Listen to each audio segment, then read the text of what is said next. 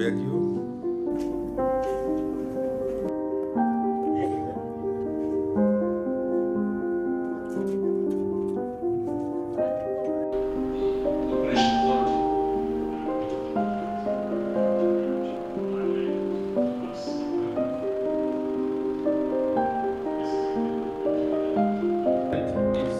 topic, uh, the issues related to corruption.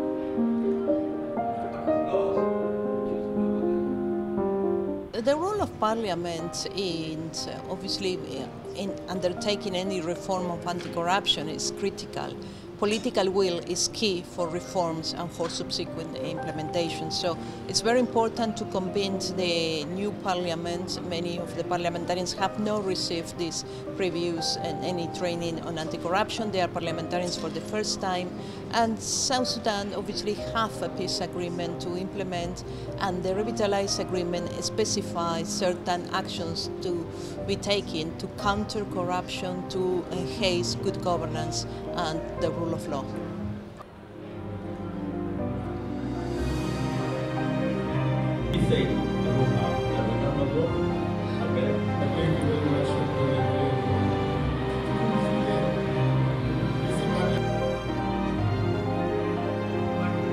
We are in different groups and multi-party uh, group. And we have to work together to ensure that we fight the corruption that is killing our country.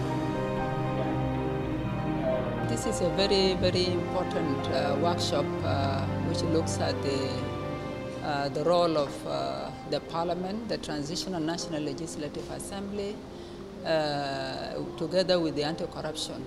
And the intention of this workshop is to give the members of Parliament an opportunity to look at one of their functions uh, of course, the function of the parliament is to look at the, first they are representatives of the people, uh, they are also legislators, and also they play the role of the oversight.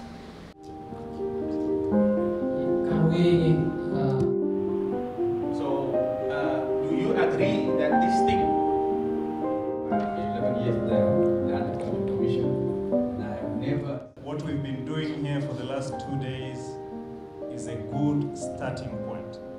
We uh, identified a lot of challenges, but we also saw in different ways through various interventions of people here the drive and the determination to join in this fight against corruption. But has yet to ratify it. It has, and then the UN Convention Against Corruption. the person of this that will depend on the on the parliament. Thank you. We should do it the way it's done. Our institutions are so weak